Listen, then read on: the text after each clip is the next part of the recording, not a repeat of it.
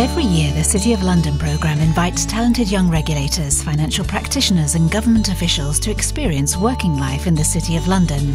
Two host organisations and a delegate share some of their experiences.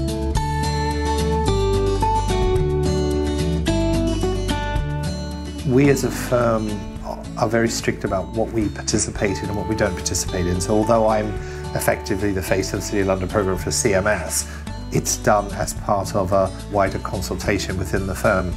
A selection process was uh, extremely cautious, I think.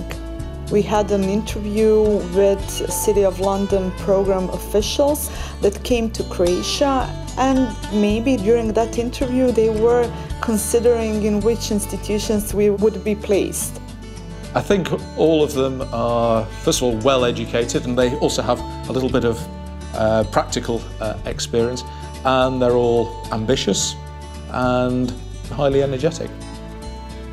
When we get the candidates through, I speak to our office in the local jurisdiction from where they're from. So, for example, this year I spoke to our office in Croatia and we, we jointly select the person that we think will be an ideal candidate.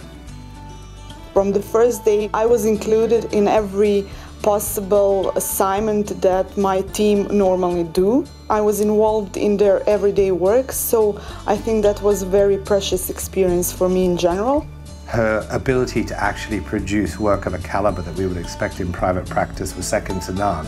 And if I'm honest, uh, I would have hired her as a, an associate in my team. These are bright people. They don't need to be spoon-fed. They just need to be um, set going in a direction which is of interest to them and their innate ability should carry them through. Most of the participants in the program are really professionals that can really influence legislation processes in our countries. I'm planning to stay in the Ministry of Finance because I see uh, now the things that I can help with in the future and how to maybe improve things in Croatia in general. I certainly hope that I can contribute and help Cameron McKenna in the future because they helped me a lot during these 10 weeks. It's the old adage, you never know where somebody's going to end up. We have had instances where we've had issues in those jurisdictions and I've just been able to pick up the phone to an ex-candidate and say, look, you know, I know you might not be the right person, but what do I do about this? Or I've got this problem, how should I address it? And that's, you know, that's very, very helpful. Anyone who's interested in First of all, better understanding, mutual understanding with these markets. Secondly, building relationships with any of these markets. And thirdly, um, positioning the UK uh, and London as a point of reference for those markets. If any of those things are important in your particular field of activity, then this programme is going to, going to help you.